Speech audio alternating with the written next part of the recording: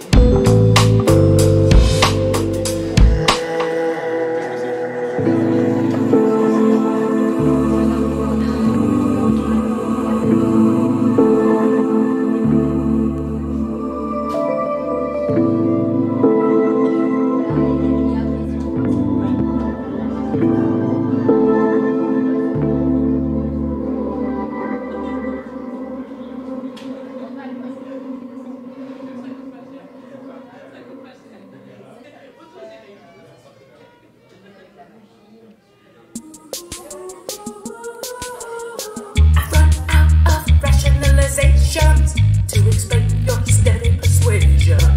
Never thought the manifestation of this kind of love could exist.